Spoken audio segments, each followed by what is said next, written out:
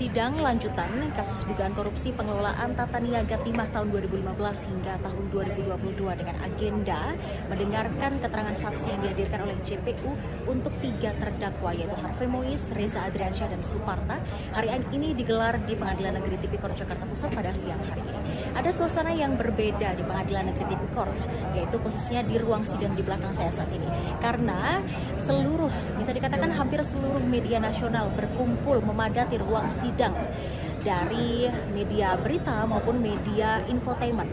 Dikarenakan Sandra Dewi ini sebagai public figure dan juga istri dari Harvey Mois ini dihadirkan untuk menjadi saksi bagi suaminya yaitu Harvey Mois dan keterlibatan Sandra Dewi ini diduga sebagai penerimaan penerima manfaat dari suaminya Harvey Mois karena jika melihat dari sidang sebelumnya dari dakwaan JPU mengatakan bahwa Harvey Mois memberikan sejumlah uang ke Sandra Dewi untuk dibelanjakan sejumlah barang mewah seperti 88 tas mewah, 8 mobil dan juga ratusan perhiasan.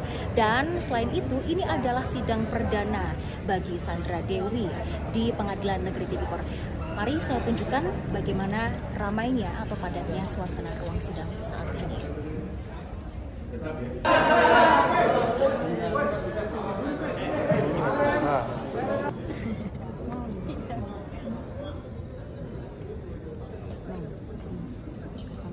Dan kita akan nantikan hasil dari sidang hari ini ya. Apa saja pertanyaan yang nanti akan ditanyakan atau dilontarkan oleh hakim kepada Sandra Dewi dan juga apa saja nanti akan disampaikan oleh Sandra Dewi pada persidangan hari ini.